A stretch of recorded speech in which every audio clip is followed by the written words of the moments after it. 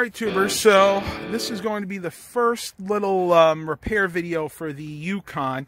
And as I showed you guys when we first got it, the headliner right near the door is starting to come down. We got to go ahead and tack this back up, which should be fine. The first thing we did, we went ahead and pulled back as far as we could um, before it started catching because we want to go ahead and put glue on here so it'll adhere properly.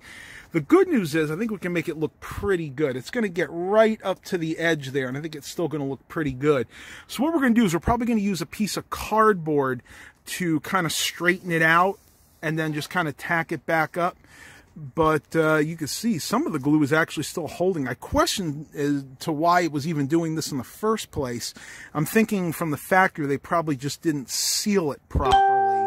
Um, but, you know, it is what it is. It happens. So we're going to go ahead and uh, get this started, and I'll try to film as much of it as I can. All right, so these are the tools we're going to use. A few little pieces of cardboard here. And again, this is what we're going to use to kind of brace the uh, the headliner against and hopefully kind of get as straight as possible. What are we going to use the uh, scissors for? Oh, maybe to cut this a little bit shorter for the size that we need. Um, but once again, I think we can make this look pretty good. Dad's kind of the expert when it comes to this kind of stuff. I don't know about expert. I've done it before. He's done it many, many We're times. Put the glue on there, and we stick my little handy ruler here like that, and then plop it up so it goes up straight the best we can. That's it. Yeah, it's receded. It's shrunk a little bit, but I think we can mm. make it look decently good. Let's face it, I'm not going to be spending money to put a new headliner in this thing.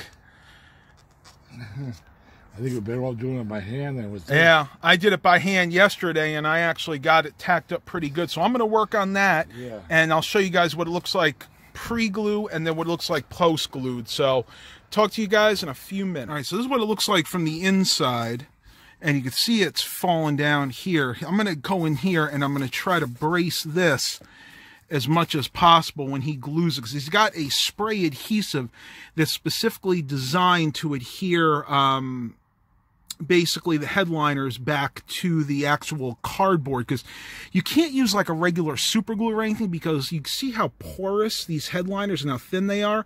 It would just go right through the headliner leak and you really wouldn't get good adhesion. So i'm going to show you guys the kind of glue that we're actually going to use here. Here show them what you got there for the glue. The best is what it's made for.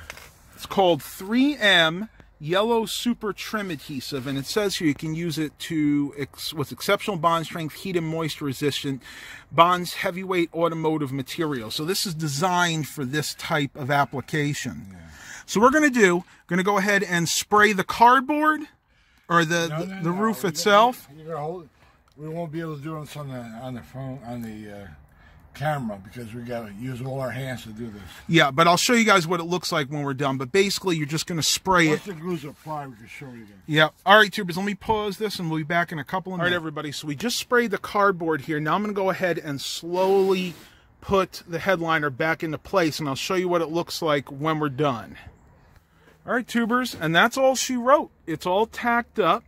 Um, it's not a perfect job, but from the inside, you can't really tell that there was much of repair done. It's a little bit more obvious on this side over here but again nothing nothing that is super noticeable. But if you're trying to do a headliner repair on the cheap then this is the way to do it. All right hope you guys enjoyed this quick repair video.